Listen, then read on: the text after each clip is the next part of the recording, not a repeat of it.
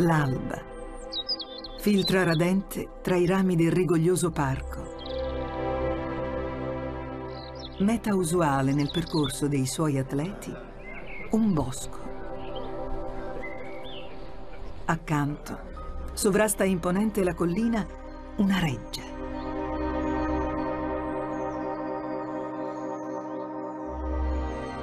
La storia corre su pareti secolari.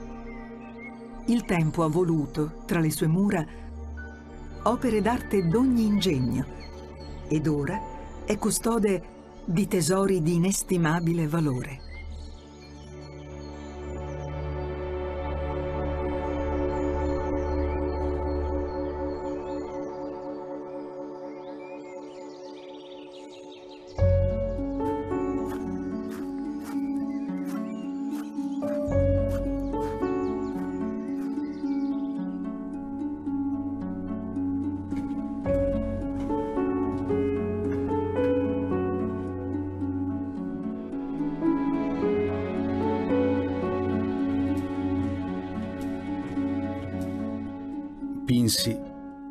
La mia pittura al ver fu pari. L'atteggiai. L'avvivai. Le diedi il moto.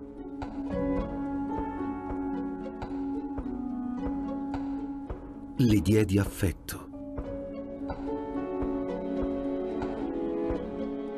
Insegni il buon arroto a tutti gli altri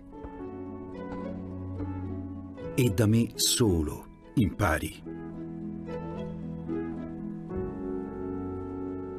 Capodimonte è un palazzo reale eh, e un museo. E I palazzi reali che sono stati trasformati in museo non sono così numerosi, sono tre. C'è Capodimonte, il Louvre, l'Ermitage. E già questa cosa è una cosa rara. Non solo eh, Capodimonte racconta tutta la storia dell'arte, ma tutti i grandi nomi ci sono. Abbiamo Michelangelo, abbiamo Raffaello, abbiamo Botticelli, abbiamo Masaccio, abbiamo tutti. È il 10 settembre del 1738, quando con una cerimonia pubblica viene posta la prima pietra del Palazzo Reale di Capodimonte. La reggia voluta dal re di Napoli Carlo di Borbone, figlio dell'ultima Farnese, Elisabetta, regina di Spagna, domina la città dall'alto di un'impervia collina. Situata accanto a un bosco, viene scelta inizialmente come tenuta di caccia e come sede delle raccolte d'arte di Casa Farnese.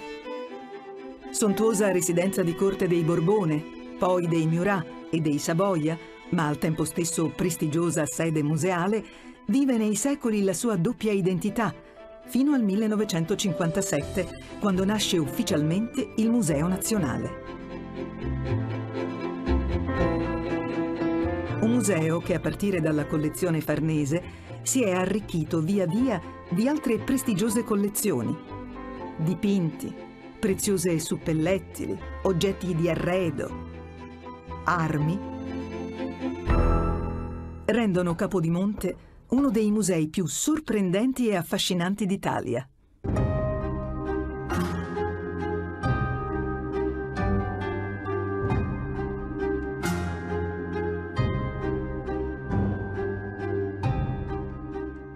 Nella Wunderkammer, la stanza delle meraviglie, spicca per eccezionalità e bellezza un capolavoro dell'oreficeria italiana del Rinascimento, la cassetta farnese. Un cofanetto realizzato interamente in argento da Manno di Bastiano Sbarri, allievo di Cellini, in cui sono incastonati sei preziosissimi cristalli di rocca incisi da Giovanni Bernardi, con scene di battaglie di Amazzoni, di centauri, battaglie navali, caccia al cinghiale. Un cristallo di rocca ovale di queste dimensioni, inciso, aveva un valore più alto di quello di un dipinto di un pittore di grande pennello. Questo cofanetto eh, incarna eh, il massimo di lusso, di, di raffinatezza del rinascimento, del rinascimento, italiano. Sono due oggetti che sono paragonabili, la, la saliera di Cellini che ha la, Kunst, alla Kunsthistorische di Vienna e il cofanetto farnese. La cassetta farnese è un'architettura in formato ridotto. Abbiamo dei eh, riferimenti iconografici molto forti che sono quelli che tradizionalmente si ritrovano nelle committenze del Gran Cardinale Alessandro, ovvero sia innanzitutto il rapporto con Alessandro Magno e poi con Ercole. Ercole è l'uomo che diventa divinità, quindi ha un valore estremamente forte, simbolico, e viene molto legato al, ehm, alla casata dei Farnese. È molto interessante all'interno della cassetta, proprio sul ehm, piano di fondo, una storia a sbalzo che racconta eh, Alessandro Magno che ripone in un cofanetto il manoscritto di Omero. Questo ha fatto ipotizzare che la destinazione d'uso della cassetta farnese fosse quella di contenere un prezioso codice miniato il libro d'ore realizzato da Giulio Clovio. Non si sa se era destinato per ricevere un libro come si è pensato o se era solo una dimostrazione di talento, di lusso e di magnificenza. Forse le due.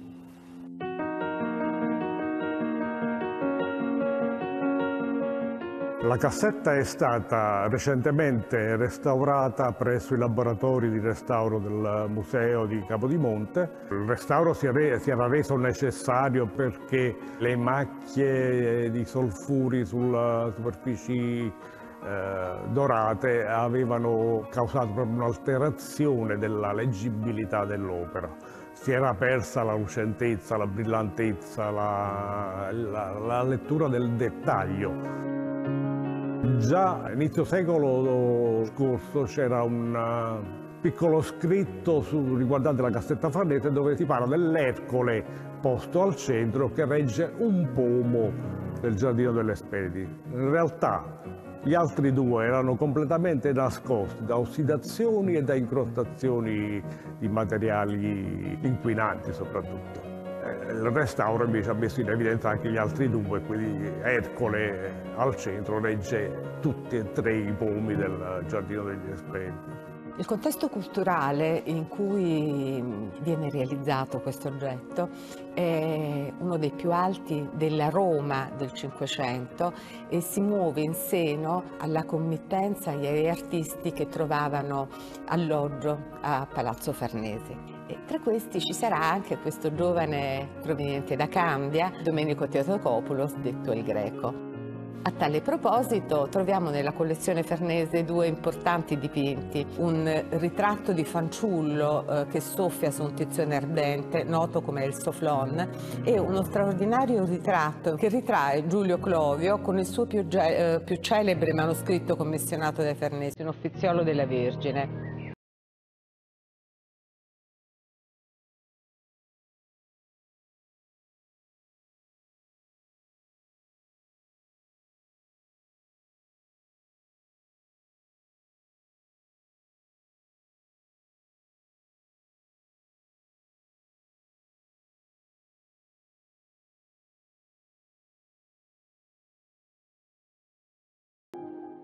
Alessandro Farnese eh, sarà un grandissimo committente e sarà colui il quale contatterà in anni precedenti per costruire l'immagine ufficiale del Papa Paolo III, Tiziano Vesceglio, e lo convincerà ad andare a Roma per eh, realizzare il ritratto più celebre, eh, che è il ritratto del Papa senza Camauro.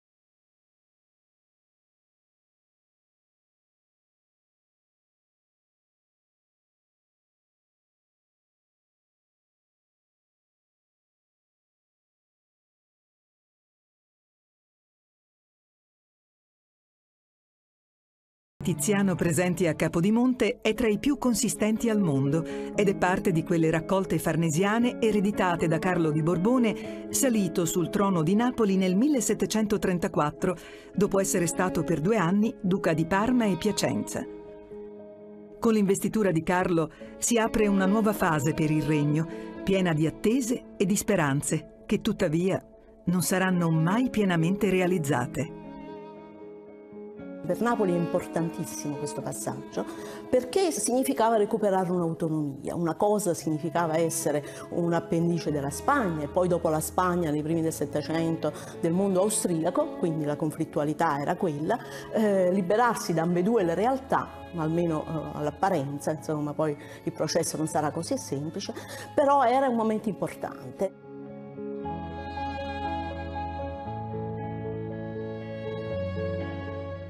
È un sovrano schivo, non abbiamo la sensazione di un grande conquistatore, ci arriva un po' spinto dalla madre che sarà sempre la sua tutrice finché può e finché vivo il padre, insomma ci sono continui suggerimenti su come comportarsi, la corrispondenza è quotidiana di questo re con i genitori, proprio perché è ehm, stato educato nella corte spagnola con i criteri con cui venivano educati i re in quel mondo, con una forte impronta cattolica, con una grande attenzione a un certo tipo di cultura, non amplissima complessissima, però eh, basilare per quello che dovevano essere i ruoli che venivano considerati fondamentali per un re.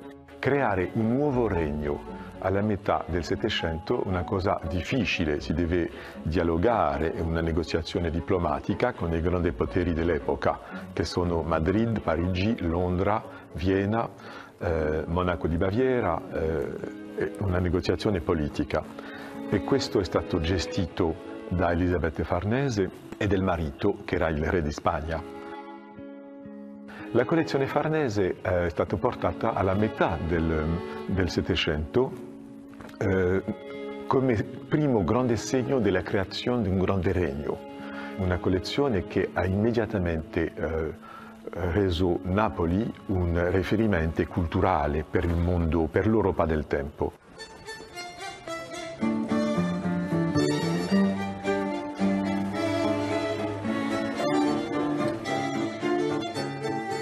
Tutti ricordarci che Napoli al, eh, Settecento è una delle tre grandi eh, capitali europee, c'è Parigi, Napoli e Londra. All'epoca eh, Roma un villaggio, Milano o Londra un villaggio e questa città è già una grande capitale.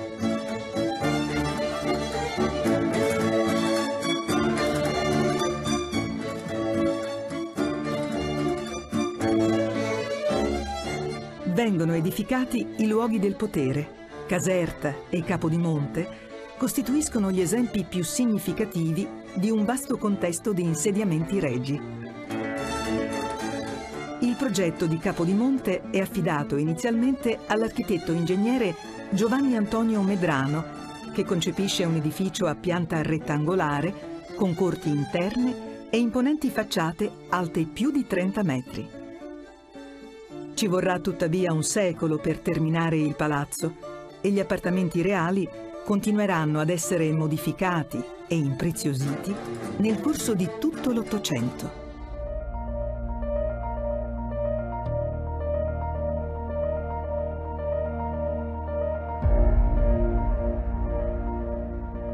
Fondamentale per Capodimonte è la presenza del bosco.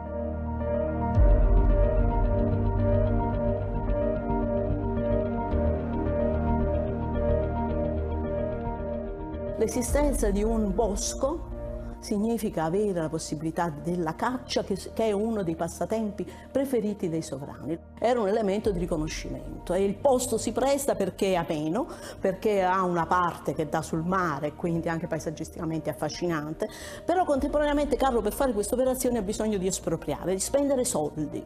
E quindi deve entrare nel merito delle proprietà che costellano tutta quanta la collina e compra, espropria, spende moltissimo, quindi sono terre dei monasteri, sono terre di privati, sono ville della nobiltà napoletana, quindi è un mondo che ha già in un certo senso una sua strutturazione precedente, va a essere sconvolto da queste attese che vengono considerate quanto mai legittime perché sono un puntello di legittimità perché la legittimità si acquista in questo modo, soprattutto da parte di una dinastia nuova e una dinastia che ha grandi progetti di affermazione di questo territorio. Poi è stato anche un giardino, eh, un bosco eh, con un uso agrario.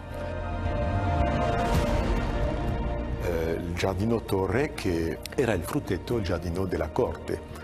E ci sono 17 edifici all'interno, delle masserie che produvano eh, latte, eh, piante, era un vero commercio. Queste realtà sono state eh, eh conservate e questo è un vero miracolo perché il bosco dopo la guerra era occupato di case di legno per tutte le, le case distrutte di Napoli. Napoli è stato molto danneggiato dalla guerra e per miracolo eh, il bosco è rimasto intatto.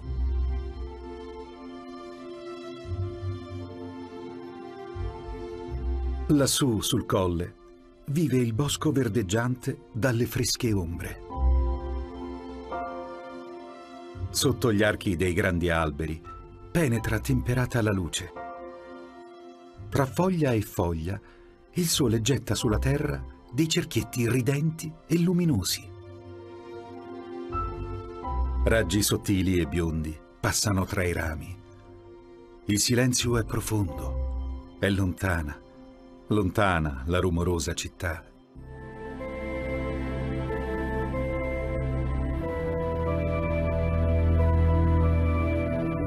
La riforma del 2015, che ha cambiato il modello organizzativo dei beni culturali italiani, ha unificato la gestione del bosco e del museo, consentendo di avere una visione globale del sito reale di Capodimonte, al fine di favorire la convergenza della missione ambientale con quella culturale. Anche il giardino è un'opera d'arte e frequentare il parco può diventare un modo per avvicinare i visitatori all'immenso patrimonio artistico del museo.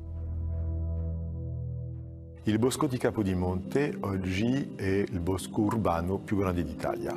Eh, cinque volte Boboli, eh, due volte la Villa Borghese di, di Roma, è gigantesco. Eh, sei chilometri di muro d'incinta e gli alberi che sono all'interno del bosco, eh, quasi tutti, sono anche un specchio dell'identità di Napoli perché sono alberi che sono stati portati dalla Cina, dall'America Latina, dell'America del Nord, dell'Australia, eh, dell'America del Sud, che eh, quando Napoli era viceregno di Spagna aveva lo statuto del Perù. Il, il, commercio internazionale passava attraverso Napoli, il Perù e le Filippine. Questo mondo eh, marittimo del commercio di Napoli si vede anche nel, nella botanica. Quindi abbiamo un bosco che oggi è un giardino storico, con una storia bellissima. Noi eh, consideriamo questo, questo bosco eh, come una collezione, quindi stiamo facendo un inventario, un condition report di ogni, di ogni albero. Abbiamo degli alberi che sono stati portati 300 anni fa, eh, alberi monumentali che fanno entrare Capodimonte nella grande storia del giardino europeo.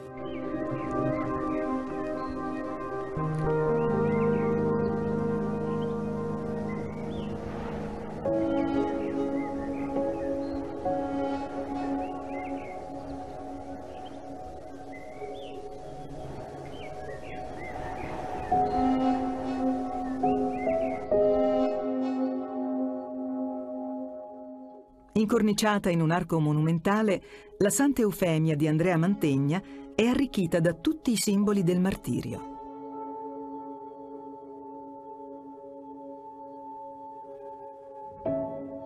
Andrea Mantegna, pittore erudito che si distingue per la perfetta impaginazione spaziale e la forma monumentale delle figure, influenzerà in parte un altro grande pittore, Giovanni Bellini, presente a Capodimonte con due opere.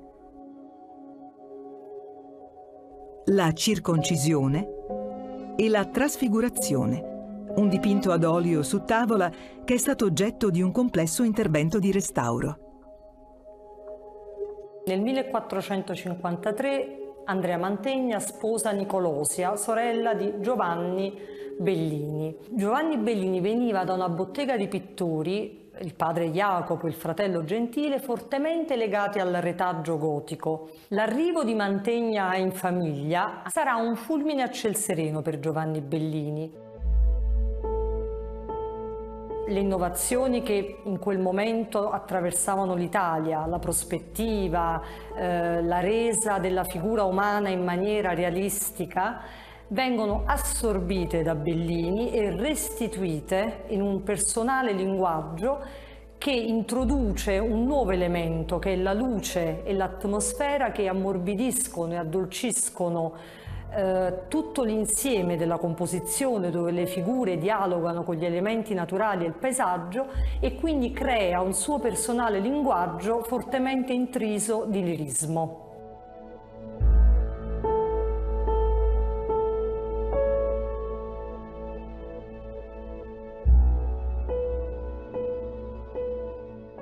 Restauro di questo, di questo, dipinto, la trasfigurazione di Giovanni Bellini, è un restauro che il Museo di Capodimonte sta affrontando con grande impegno e interesse di studio. Si tratta di un'opera di, di capitale importanza. Attraverso la radiografia e la riflettografia abbiamo potuto vedere come tutto il dipinto sia stato accuratamente progettato prima della sua realizzazione e quindi eseguito eh, con grande sicurezza, eh, con un disegno preliminare con cui le figure sono delineate accuratamente. Una cosa bellissima che abbiamo trovato a proposito di indagini diagnostiche si tratta semplicemente di macrofotografie che abbiamo fatto o a volte evidenziate dai raggi ultravioletti, si riescono a registrare sulla superficie del dipinto le, le impronte delle dita di, di, di, di Giovanni Bellini che eh, non sono impronte casuali, è la maniera con cui lui eh, stendeva leggermente le velature di colore. Un altro tipo di indagine molto importante che abbiamo realizzato è, è quello della, dell'esplorazione della, della, tavolozza di, di, di Giovanni Bellini e, e questo eh, è stato realizzato con eh, la tecnica del, della fluorescenza X, dell'XRF. Per esempio è, è bellissima questa, uh, questa, parte della roccia in basso, invece di usare le terre, diciamo, i, i colori bruni più consueti, uh, Bellini utilizza miscele di, di pigmenti puri con piccole parti di nero chiaramente. E così eh, i suoi bruni sono oh, nelle varie tonalità più chiare sono eh, intonati legger leggermente al rosso e al verde ma sempre straordinariamente armonici. Non c'è rosso in cui non ci sia un po' di verde non c'è verde in cui non ci sia un po' di rosso. Un'altra cosa singolare che è venuta fuori con l'indagine dei pigmenti è l'utilizzo di un pigmento raro si chiama stibnite ed è un nero eh, lucido, luminoso. In questo caso lui lo utilizza per il manto bianco del Cristo. L'effetto di azzurrino del manto è ottenuto con questo nero eh, particolare. Un altro sperimentatore del colore fu Lorenzo Lotto, un artista controcorrente che si distacca dalla pittura tonale di Tiziano. Esemplare il suo Ritratto del vescovo Bernardo de Rossi, un'opera che si pone al culmine del passaggio della civiltà veneziana dal Rinascimento alla maniera moderna del Cinquecento. Un ritratto realizzato con una precisione micrometrica delle pennellate, al punto da conseguire effetti quasi fotografici.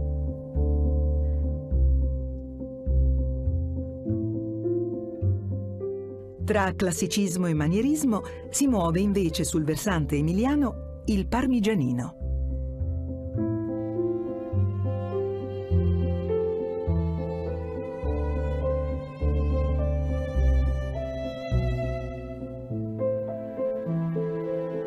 I ritratti che Capodimonte ospita sono tra i più intensi esempi dell'arte di Parmigianino, perché questi personaggi ancora oggi ci guardano, eh, ci fissano e si mettono in contatto con noi a distanza di secoli. È un artista che eh, avvolge però anche di tanto mistero queste effigi, che eh, in qualche modo ci propongono un enigma, l'enigma cioè della conoscenza della loro identità profonda.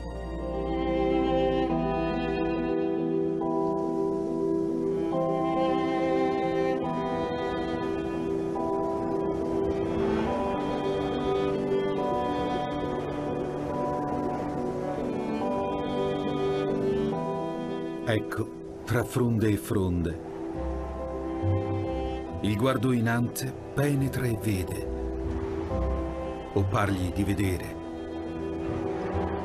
Vede pur certo, il vago e la diletta, che egli è in grembo alla donna, essa all'erbetta.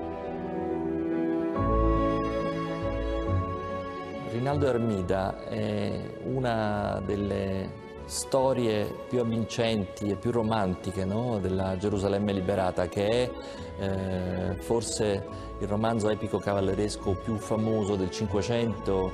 Eh, Annibale comprende bene e a fondo eh, la valenza letteraria di questo tema, che è un tema ehm, replicatissimo nella pittura italiana del Cinquecento, eh, ma quello di Annibale è uno degli esempi più moderni e che più trasmettono poi eh, al secolo successivo questo modello in cui virtù guerresche, destino, caso, avventura si mischiano eh, nelle vicende di questi amanti e di questi antagonisti che eh, spesso sono costretti ad amarsi all'interno di situazioni drammatiche, terribili, violenti, dentro una guerra, dentro un assedio. Annibale Carracci è, è stato di fatto l'ultimo forse pittore del Cinquecento e l'ultimo eh, artista che abbia tentato di portare al massimo sviluppo, al massimo livello di modernizzazione il linguaggio di colui che eh, per Annibale era il modello assoluto eh, della pittura moderna, cioè Raffaello.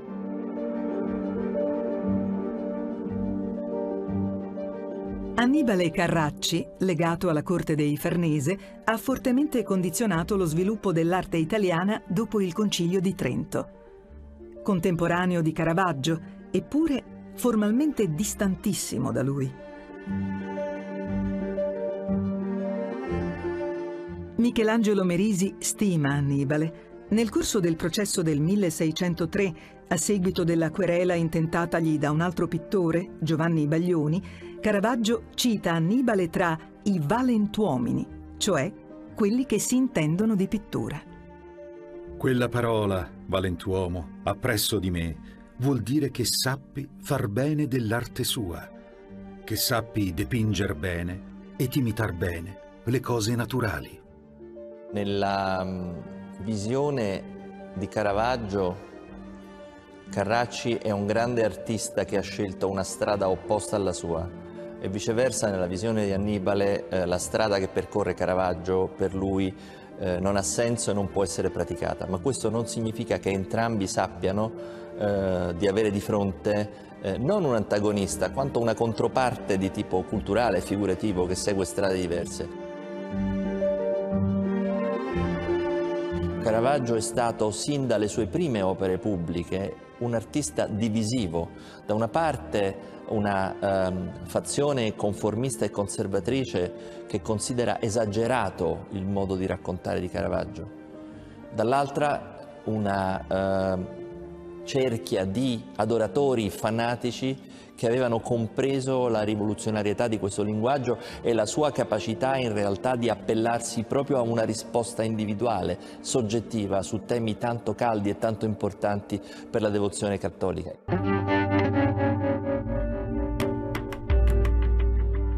Recentemente Capodimonte ha voluto celebrare Caravaggio con una mostra nella quale, accanto alla flagellazione, opera che è parte integrante della Galleria Napoletana del museo, sono stati esposti altri capolavori realizzati dal Merisi durante i suoi soggiorni nella città partenopea.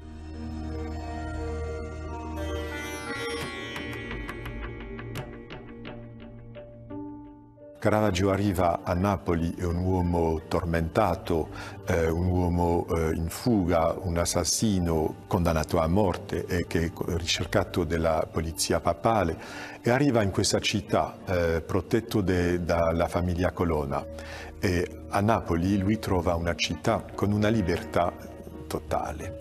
Rimane il fatto che la produzione di eh, Caravaggio a Napoli è una produzione ansiosa, eh, una produzione drammatica. Non ci sono più le prostitute, i ragazzi ambigui, eh, le fiori di Roma. questo è andato via. La produzione di Caravaggio è sempre stata una produzione molto complessa intellettualmente, la fede di Caravaggio è una fede complessa eh, fa parte della pittura, eh, integralmente della pittura della Controriforma, ma non completamente. Per esempio un'opera importante che non è a Capodimonte, che si trova nella chiesa eh, del Piemonte della Misericordia, le sette opere della Misericordia, illustra questa fede particolare. Le sette opere di Misericordia sono un'istantanea che coglie eh, sette situazioni eh, in sé apparentemente separate, ma in realtà in reciproca dialettica, ambientandole, come diceva Roberto Longhi, eh, nella realtà nuda di un vico di Forcella o di Pizzo Falcone.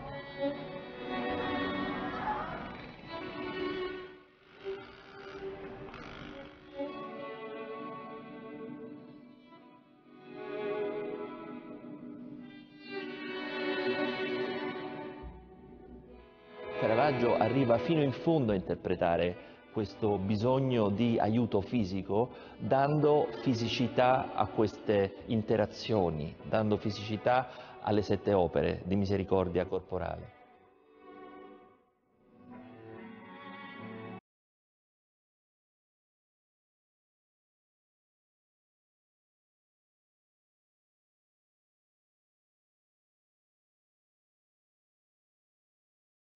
La flagellazione che fu commissionata per la Cappella dei Franchis in San Domenico Maggiore a Napoli è eh, un'altra eh, delle eh, prove in cui Caravaggio fondamentalmente ehm, riesce a trovare una strada sua nel racconto di un episodio tra i più conosciuti dei Vangeli, più che una flagellazione.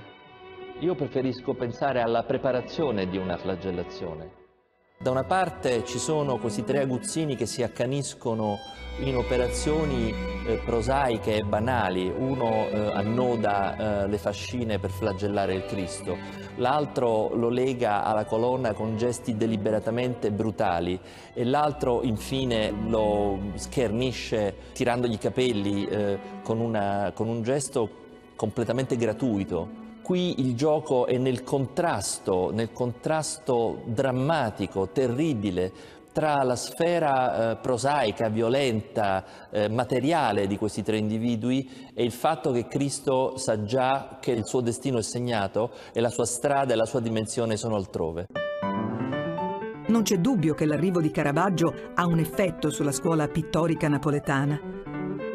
Giovan Battista Caracciolo subisce la fascinazione del Merisi intravede la novità di quel linguaggio, ma da pittore già formato qual è, lo traduce in una formula autonoma, personale.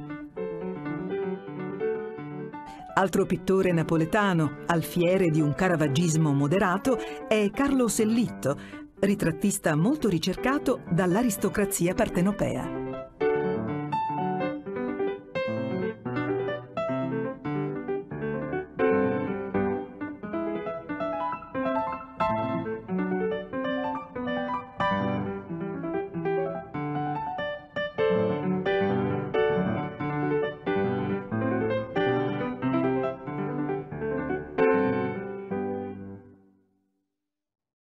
Nel periodo che va dal 1600 al 1700, Napoli si distingue per la creatività soprattutto artistica e musicale. Sono davvero tanti musicisti che nascono a Napoli o perlomeno si formano o operano e sono molti gli artisti che vengono da fuori per acquisire qualche stilema da questa civiltà. In questo contesto nasce il Teatro di San Carlo per volontà di Carlo di Borbone e inaugurato nel giorno del suo nomastico del 1737. Tra i musicisti più notevoli di questo periodo sicuramente Melli, Paisiello, Alessandro Scarlatti e il figlio di Alessandro, Domenico Scarlatti, eccellente clavicembalista e musicista importantissimo per la geniale creatività e per la finezza dell'espressione. Questa infatti è una sua composizione.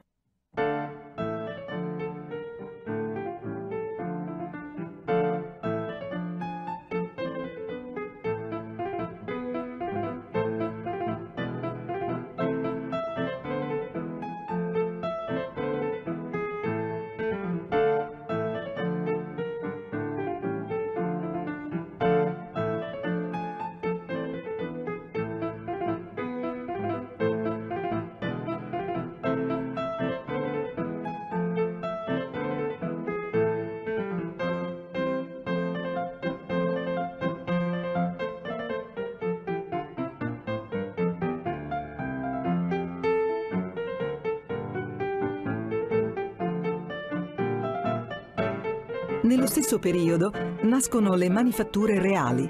Il più grande desiderio del re Carlo di Borbone è quello di arrivare a produrre la porcellana.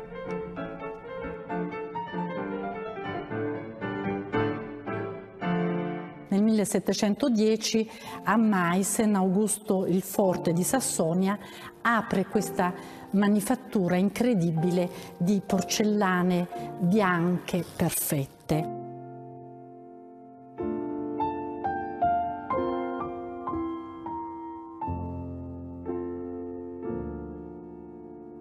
Carlo di Borbone sposa pochi decenni dopo la giovane Maria Amalia di Sassonia, che era la nipote del fondatore della fabbrica di Meissen e che porta con sé in dote una serie di porcellane eh, di Meissen che piacquero molto alla corte. Ma soprattutto Carlo, prima di giungere a Napoli nel 1934, aveva visto le manifatture medicee, fra cui quella di porcellana, e aveva questo sogno della porcellana. E quindi già dal 1740 prende contatto con alchimisti perché allora la porcellana era un prodotto alchemico, era quasi una scommessa e inizia a fare sperimentazioni e quindi riesce ad aprire qui proprio nel bosco di Capodimonte una manifattura delle porcellane. Tutte le porcellane più antiche fatte nella prima metà del Settecento si ispirano al gusto della chinoiserie, come veniva chiamato eh, boudoir e gabinetti cinesi erano sorti in Europa in numerosi castelli, siti reali o nobiliari.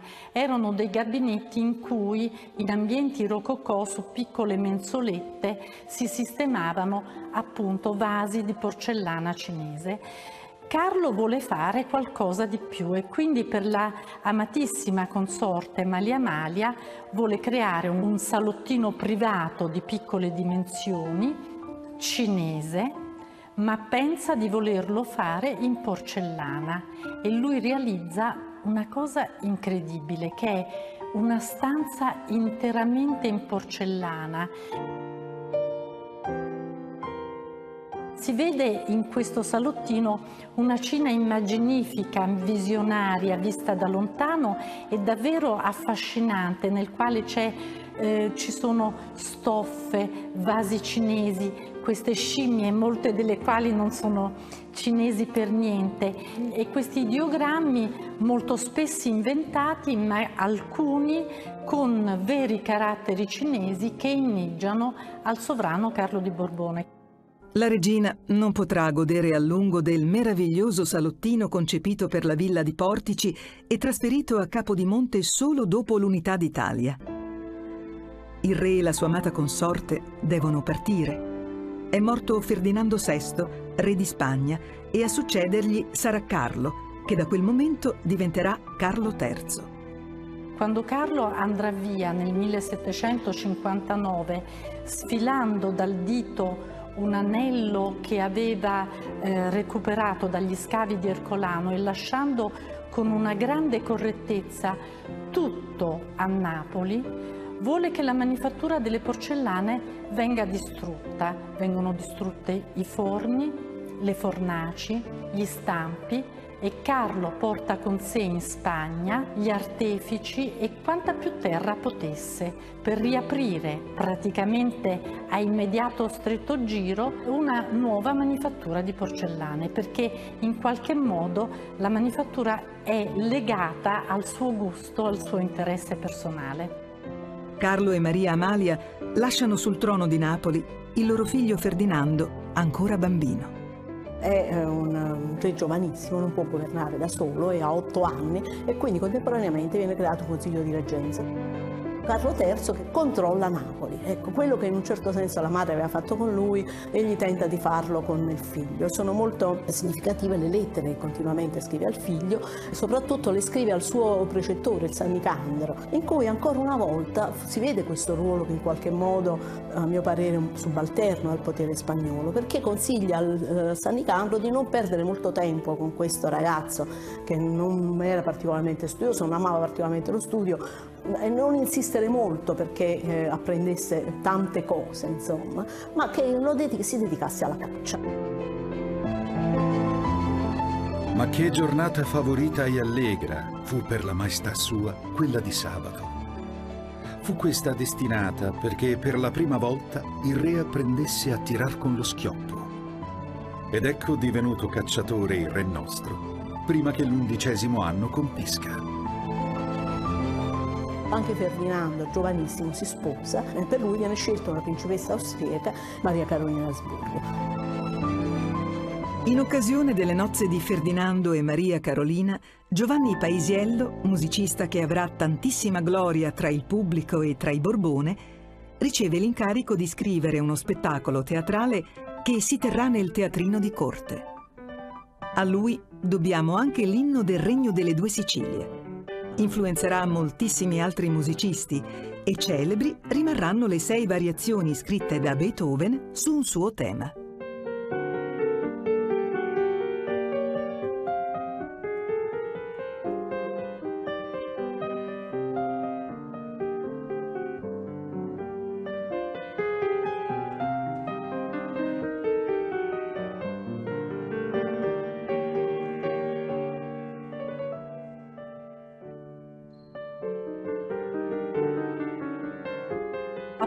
Giovane Ferdinando raggiunge la maggiore età, si capisce anche in lui un evidente interesse a riaprire eh, la fabbrica delle porcellane. Nel 1780 viene assunto un archeologo, una persona estremamente colta, Domenico Venuti. In contemporanea a Domenico Venuti giunge probabilmente da Vienna Filippo Tagliolini. Bene, la presenza di questi due personaggi innovativi rispetto al passato crea davvero una svolta. Tutto sommato la cesura fra la manifattura di Carlo e quella di Ferdinando fu per Napoli una fortuna perché la sterzata in senso neoclassico fu molto più forte, più decisa, più all'avanguardia rispetto a quello che si faceva in altre pur importanti manifatture attive in Europa e la produzione di venuti e di tagliolini si impone per una grandissima qualità. Si realizzano biscuit, si realizzavano biscuit anche a Sèvres, ma i biscuit napoletani sono spesso copiati dall'antico ma questo probabilmente per un preciso volere di Ferdinando si affiancano dei temi che possano in qualche modo celebrare la corte. È molto importante da questo punto di vista il servito cosiddetto dell'oca, nel quale i piatti da coltello sono ognuno con una veduta diversa, i porti, le regge, ehm, le vedute dei siti archeologici le bellezze del regno, le vedute delle città più belle, si dispiegava sotto gli occhi dei commensali, era quindi la pubblicità di allora, un campionario incredibile di bellezze del regno delle due Sicilie. La presenza a Capodimonte del servizio dell'Oca ci restituisce la meraviglia della corte borbonica, il fasto dei banchetti di una delle case reali più importanti dell'Europa di allora.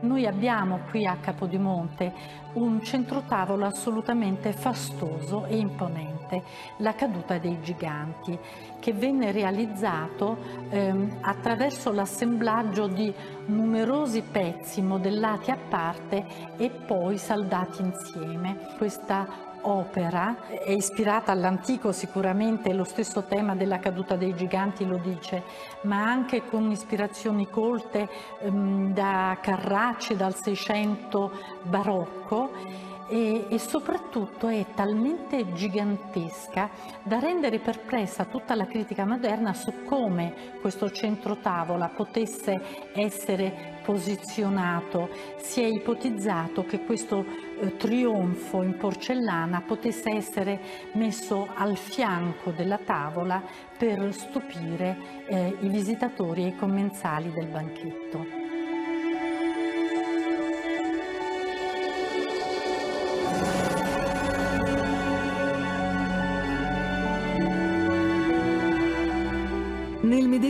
Medesimo edificio che fu sede della Real Fabbrica di Porcellana di Capodimonte è situato oggi l'Istituto Superiore di Istruzione ad indirizzo raro Caselli de Santis.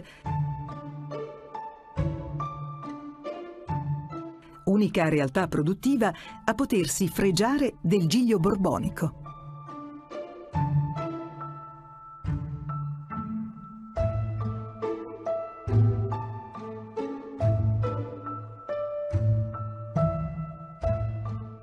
nell'Istituto Raro Caselli De Santis e nell'area alfabetica Podimonte abbiamo eh, studiato innanzitutto e poi conservato tutta una serie di forme, modelli e stampi che partono proprio dalle produzioni settecentesche. Siamo fermamente convinti che occorra anche eh, trasportare questa cultura, questa tradizione eh, nello scenario di gusto contemporaneo, per cui pezzi di antiche statuine sono eh, state eh, decontestualizzate e inserite all'interno di elementi dallo stile dal design assolutamente contemporaneo e anche l'ultima collezione che abbiamo prodotto, quella del Presepe Liberato, guarda ancora al Settecento napoletano, alla produzione storica, riprendendo alcuni elementi eh, di questo mondo fantastico che è pieno di simbolismi eh, come le erbe apotropaiche, gli angeli, i demoni, i mascheroni, ma anche i decori degli abiti, eh, per esempio come mh, mm, le passamanerie degli abiti dei circassi, dei mori del Presepe napoletano, sono diventati elementi decorativi decorativi, gioielli, vasi, centrotavola, oggetti che possano entrare eh, nel quotidiano, nella vita delle persone, eh, ricordando però gli antichi fasti del Settecento.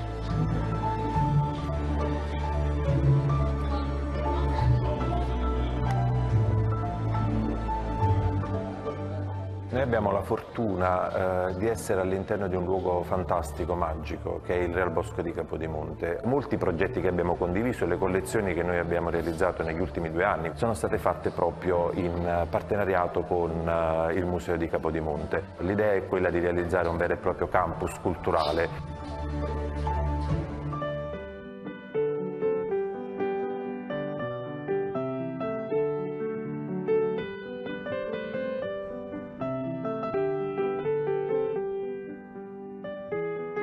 Esiste un bisogno di produrre oggetti a significato estetico che è così intimamente connesso alla vita da non poter essere scisso. Cambiano gli ambiti, le tecniche, i committenti, le destinazioni. Non cambia il bisogno di produrre ciò che noi, con un termine molto generico, ma ancora molto efficace, chiamiamo arte. Questa lezione trova a Capodimonte un esempio di particolare nobiltà e altezza. Capodimonte è un'avventura particolare perché non posso pensare a Capodimonte senza pensare a Napoli. Napoli ha conservato oh, un'umanità eh, di, un, tempo passato. È a Napoli che si capisce di più eh, il rapporto antico.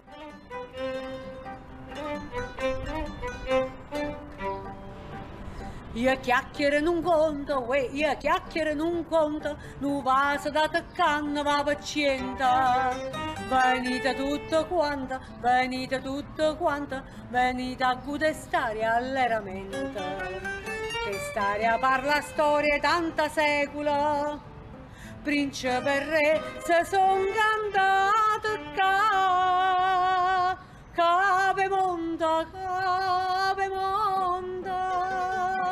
paravise chi va bene, chi non sente stare a fila, corombietto non tiene, questo sole faccia e fronte, questi rosari in viento, chiume sperde in tasto bosco, chiusa a mesca la mellesca, che calore in tasto frisca, benedetta cape monta, oili oila, oili oila.